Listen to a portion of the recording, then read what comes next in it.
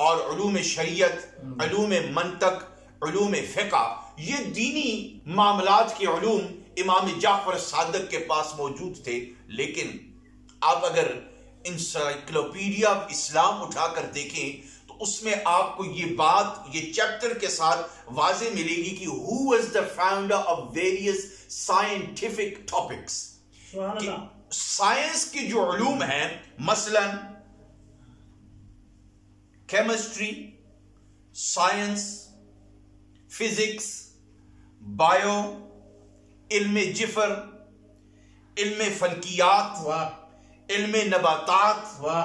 रियाजी ये मामलात ये ूम जो हैं अल्लाह ताला ने ये सिला इल्म का भी इमाम जाफ़र सादक को अता फरमाया